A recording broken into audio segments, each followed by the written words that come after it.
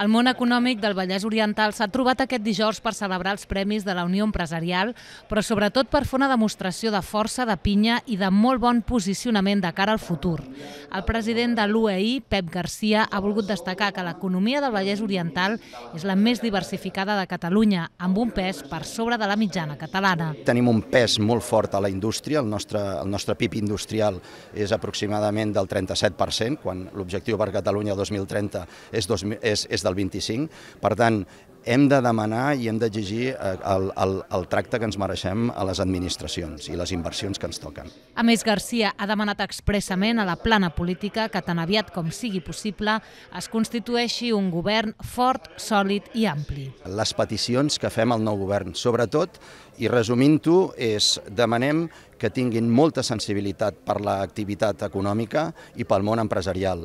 Al final estem sotmesos en processos de transformació molt complexes, eh, la competència ens ve de tots els llocs del món i per tant hem de ser competitius i hem de fomentar aquesta competitivitat.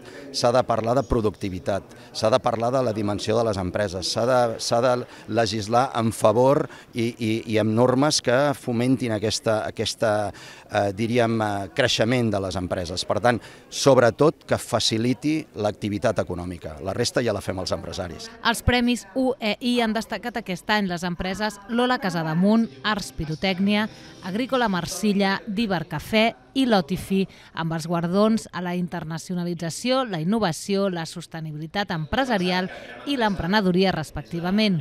A més, la nit empresarial ha volgut fer un reconeixement a Nadico per la seva implicació al territori, a Lleal per la seva trajectòria empresarial, a Més que Ciència per la responsabilitat social i a Francesc Sagalés per la seva trajectòria com a empresari.